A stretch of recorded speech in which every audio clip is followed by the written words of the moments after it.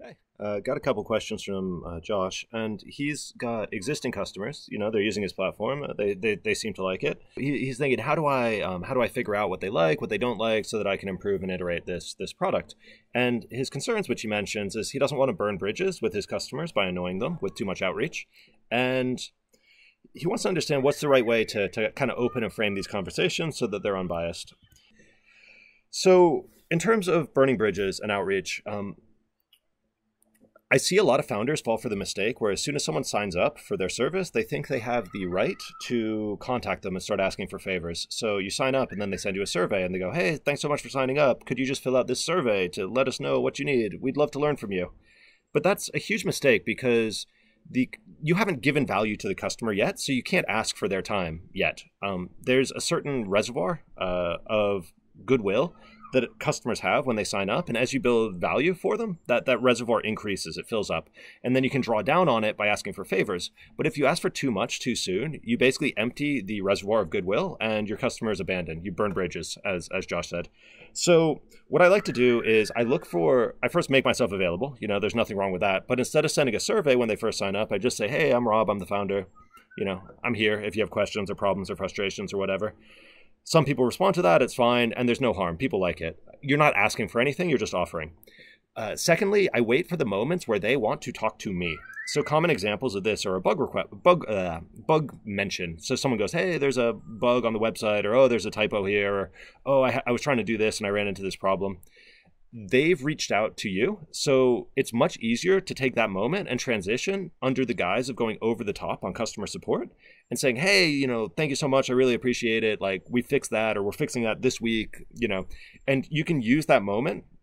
They're already engaged. They're much more willing to talk then. So it's easier to switch into a learning conversation or a feedback conversation or get them on the phone or whatever.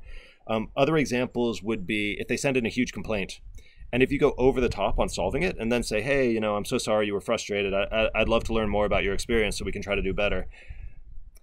One for one, like that turns uh, detractors into evangelists, which is amazing. If you go over the top and you engage someone when they're angry, but it's also a great moment uh, to talk. Or if someone's submitting tons of feature requests or blah blah blah, all of those are moments when they're really engaged and it's basically just don't do these blasts to all of your customers. Those tend not to work. It, it, needs to be a bit more sensitive than that to find the right moments.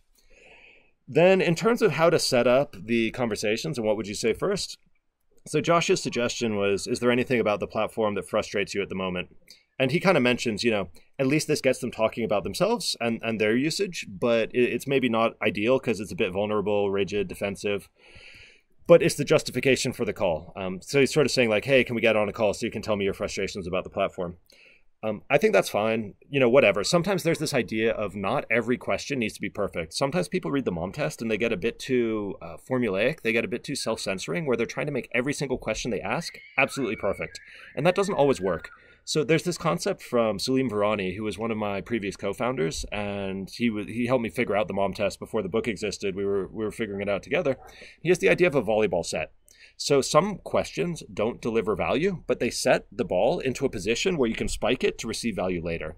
So sometimes you're just opening up a conversation topic, which even with a question which you know will be biased or bias inducing, but you don't mind too much. You're not trying to, you're not taking the answer to that question as golden data, but it's putting you in a position and opening the topic so you can ask the question you want to ask next. So in volleyball, it's the set, and then the good question is the spike. Um, what you've written, like what are your frustrations about the platform, blah blah blah. Like it is bias inducing. It might not be perfect, but it might also give you, you know, the set to get the ball into position where you can ask what you really want. So that's totally fine. This is one of the reasons to take good notes because often you'll get big compliments off of these sorts of set questions, and then your brain will misremember that as positive validation. And so if you take good notes, you can remember, oh yeah, that answer, like I, I was fishing for compliments there. So it's not it's not real data.